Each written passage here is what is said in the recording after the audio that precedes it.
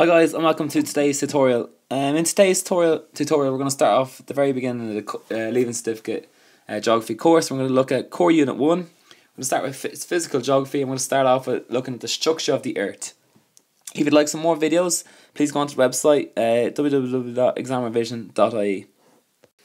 Okay, so in today's uh, tutorial we're going to look at the structure of the Earth.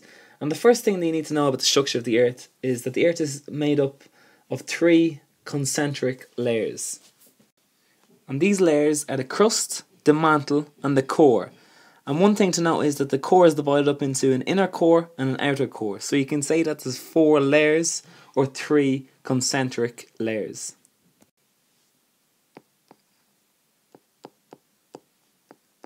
So three concentric layers, the crust, the mantle,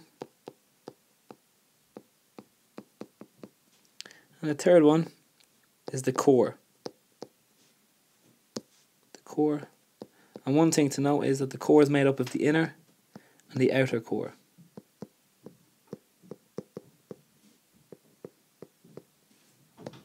Okay, so this is a good um, diagram of the different layers that we have that make up the Earth's structure. Okay, so as you can see here, um, we've got on the outside, we've got the crust, then we have the mantle, and then we have the core and you've got the inner as uh, the outer core, which is the orange, and the yellow is the is the inner core. Okay, and then th this uh, shows it in um, a better kind of view here.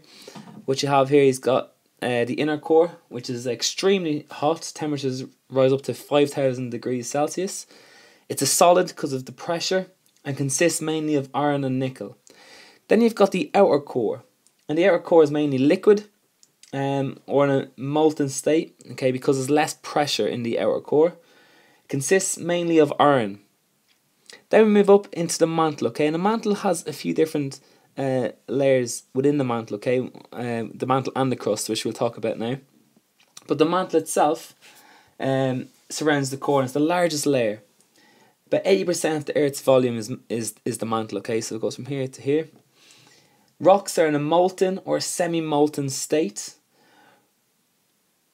part of the mantle is known as the asthenosphere, okay, which is up here. The asthenosphere is the top part of the mantle. Okay, that's the asthenosphere. It's the top part of the mantle. And the rocks in the asthenosphere, which is just here, are much weaker and almost molten. And they can easily change and are capable of like flowing. And so in this asthenosphere, you have like the convection currents. This explains to us why the plates uh, actually move. Then up here we have the lithosphere. So the lithosphere makes up the very, very top part of the mantle and the crust. Okay, so it's the upper part of the mantle and the crust, and that is what is known as the lithosphere. But the the top layer itself is just known as the crust. Okay, and the the crust is the is the Earth's outer skin. It's made up of solid rock it's where it's what we actually it's what we live on, and it's divided into oceanic crust and continental crust. Okay, so I've wrote out the few different points that I made about each about each one. First of all, the inner core, up to five thousand degrees solid uh, in temperature. It's solid because of the pressure and it consists mainly of iron and nickel. The outer core, which is the orange bit, is a liquid or semi molten state. That's because there's less pressure and consists mainly of iron.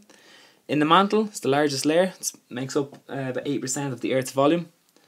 Temperatures here reach up to 3,500 degrees Celsius. The rock is molten or semi-molten state. The top part of it is, is known as the asthenosphere and is a very weak part and it's easily changed. rocks are easily changed in the asthenosphere and almost like a flow in motion. That kind of explains why the plates are able to, to move um, because of the convection currents within the mantle.